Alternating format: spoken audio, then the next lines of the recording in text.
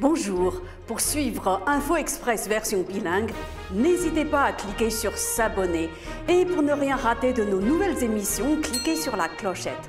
欢迎收看双语快讯，敬请订阅并点击小铃铛。据中国新闻网称，近日，山东枣庄市疫情防控指挥部通报，山东九旭生物科技有限公司部分进口乳清粉及奶枣产品核酸检验结果呈阳性。由于该产品已流入市场，多个省份开展紧急排查。Selon l'agence d'information China Newsnet, le centre de prévention contre les épidémies de la ville de Zhaozhuang, dans la province du Shandong, a alerté la société de biotechnologie Jiuxu du Shandong sur des cas de contamination de la poudre de lactérose rose et de jujube au lait importés.